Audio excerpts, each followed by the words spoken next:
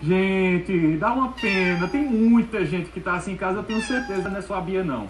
E a gente conversou com elas pela internet hoje, pela manhã, para saber um pouco mais sobre essa paixão tão grande pelo carnaval.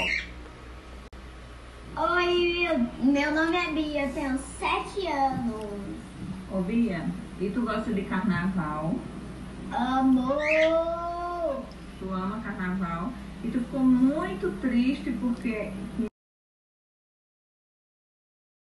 vai ter carnaval esse ano? Muito, muito. E por que tu gosta tanto de carnaval assim?